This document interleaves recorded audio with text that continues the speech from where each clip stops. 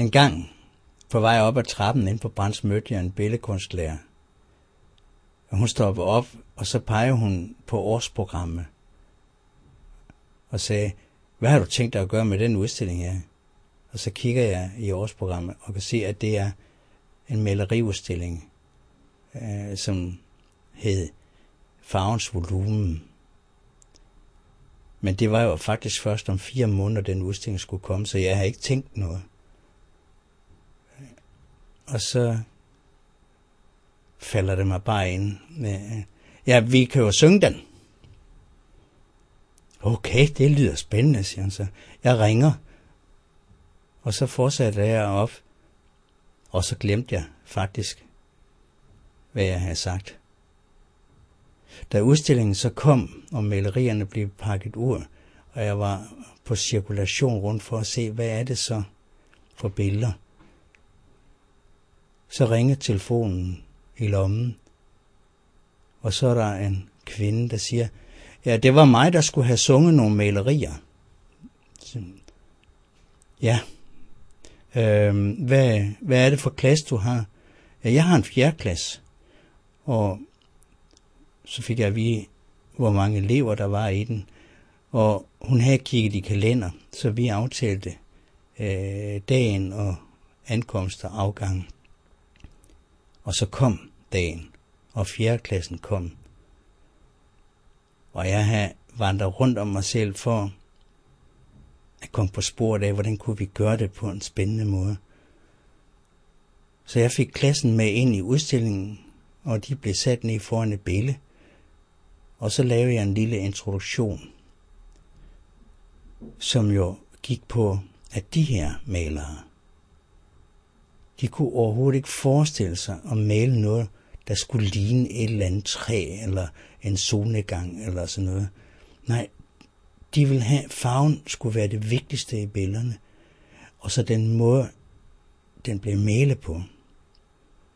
Altså, var det hurtigt, eller hissigt, eller langsomt, eller var der mange stop?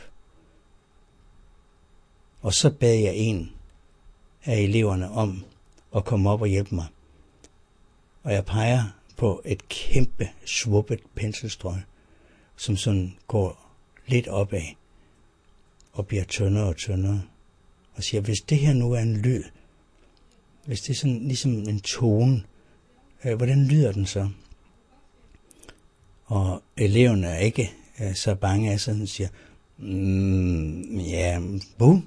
Siger han, den er jo lang, altså, hvordan lyder den, når den sådan er, er lang? Og så kommer det sådan lidt tøvende. Hvad? Og jeg kigger på klassen og siger, nu skal I klappe. Så skulle vi udvide det. Så næste penselstrøg blev taget op, og en anden elev blev kaldt op. Øh, og efter at have været billedet igennem, så havde vi jo faktisk et helt kor. Så alle blev ligesom bedt om at komme op, og så skulle koret de prøve at synge billedet. Og jeg er jo korlederen. Og jeg peger på øh, et penselstrøg her og et penselstrøg der, og ligesom med hånden fulgte, så jeg kunne styre lidt, hvor lang tid lyden den skulle køre. Og så til sidst, så sluttede vi med at synge dem alle sammen på én gang. Og hvordan gør man så det? Jo, vi aftalte simpelthen, at man trækker vejret dybt, og så synger vi indtil vi ikke kan mere. Og det lyder redselsfuldt. Men, men eleverne synes altså, det er helt fantastisk. Og hver gang vi har lavet noget nyt, så klapper vi for lige at, at ryste spændingen af. Øh, og vi skal sådan lige gøre det rigtig overbevisende. Nu har vi jo fundet en måde at gøre det på. Øhm, så da den sidste afgørende koncert sætter ind, der kommer der en stor gruppe mennesker ind, som skal på en rundvisning. Og de stopper lige inden for døren og kigger forundret på børnene, der sidder hen på gulvet, og så er der nogen, der står og råber og skriger, og en mand, der står og fægter i luften. Men nu har vi altså fået fundet frem til en måde at gøre det på. Så det vi gjorde, det var, at vi prøvede et par andre billeder af, og en af børnene sagde, må jeg også prøve at dirigere? Og det gjorde han så. Og han fik arrangeret kort, fik delt penselstrøgene ud, og fik også dirigeret det færdige, og så ville de jo prøve alle sammen.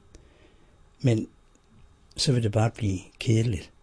Så de fik en opgave øh, med, at, at de skulle øh, have tegnebrættet med rundt, og så skulle de have farvekridt med, og så skulle de finde et billede, som de synes kunne blive et fantastisk øh, sangværk. De skulle altså tegne billedet, og ikke tegne det af, men, men ligesom tage ideen, tage fornemmelsen eller lydene fra billedet, og så lave deres eget billede. Og de skulle lave billedet sådan, at det kunne synges bagefter. Så fik de kort tid, 9 minutter, og protesterede selvfølgelig over, at det var for kort tid, så vi sagde 11 minutter. Efter 11 minutter, der øh, samledes vi og lavede en udstilling på gulvet, og så havde jeg et staffeli, som jeg lige fik trukket frem, og vi satte en af billederne op på staffeliet.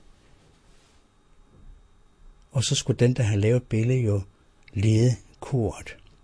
Så rollerne blev fordelt ud, og det viste sig, at de havde lavet billeder, der kunne synges. Til allersidst, der ville jeg have dem med ind til et meget anderledes billede, som hang helt bagerst i udstillingen. De gik helt op for loftet, og så skråt ned og ud på gulvet. Og det var faktisk sådan, at man meget ofte måtte sige til folk, pas lige på ikke at træde på billedet. Og da børnene kom derind, så fordelte vi rundt, og jeg bad dem om at, at vælge en af pletterne. Fordi hele billedet var jo på en måde splat. Det var altså som om nogen havde spildt enormt meget.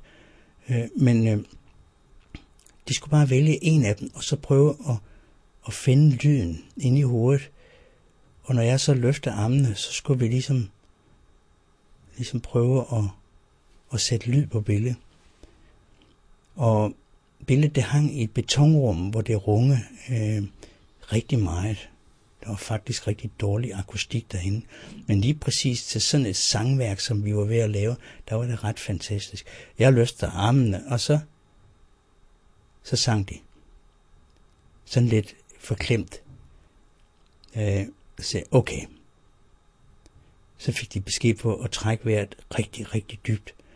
Og så skulle de synge den der lyd, så højt de kunne, indtil de ikke havde mere luft i lungerne. Og jeg løftede armene, og så sang de. Og de sang så højt, så kunne stolen komme springende rundt om hjørnet øh, og stoppe op helt for frossen. Øh, fordi han havde godt nok aldrig oplevet noget lignende.